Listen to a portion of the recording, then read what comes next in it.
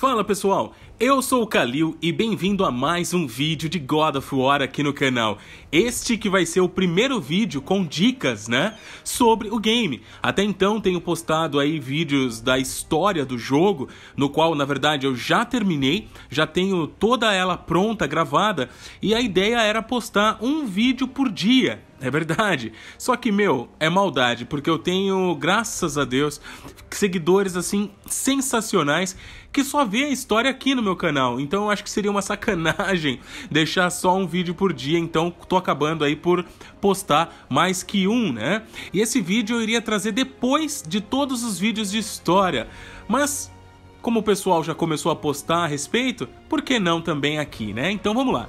Essa que vocês estão vendo, na minha opinião, é a armadura mais linda, cara. É a armadura mais bonita, é o set mais da hora que o jogo tem a oferecer. E ele se chama, né, set do viajante, é a armadura, o conjunto do viajante. Para conseguir é bem simples, tá?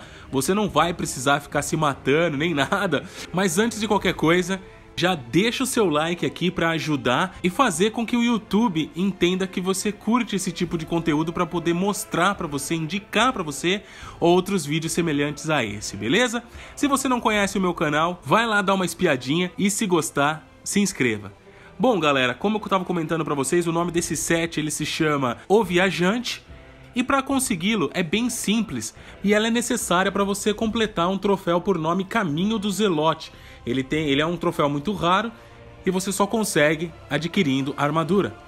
Vocês viram que no vídeo anterior que eu postei, o vídeo de história número 14, nós encontramos aí um cara muito estranho, com uma armadura medieval tal, parecendo bem Dark Souls, lembram? Então, esses são os viajantes.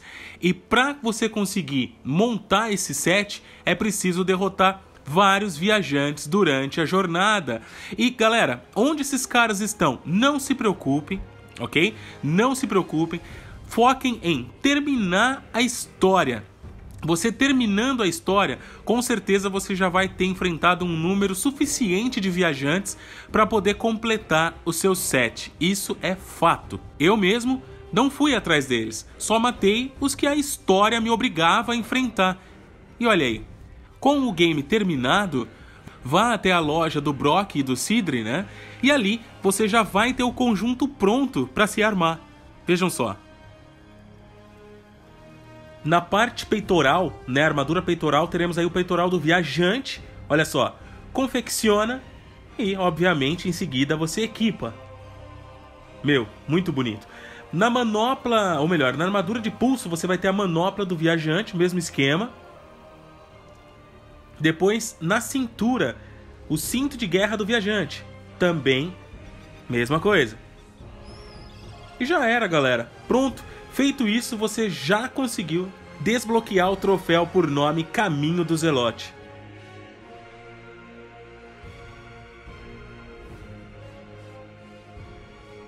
Bom, pessoal, é isso aí. Agora vocês já sabem, né, que existe essa armadura. Se você tá jogando a saga aí, pode terminar tranquila.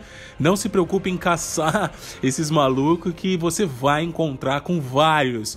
E no final do game, você busca aí completar o seu set, ou melhor, vestir o seu set, né não? Com certeza vou estar trazendo outros vídeos como este, né? Na verdade, eu até tenho alguns já em mente e conforme for postando, né, jogando mais, vou conquistando eles e trazendo aqui para vocês também, beleza?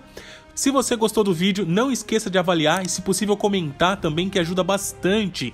E se não é inscrito no canal, seja muito bem-vindo. Se inscreva, marque o sininho para receber as notificações e vem com a gente, valeu? Um forte abraço, tudo de bom, fiquem com Deus, até o próximo vídeo, valeu!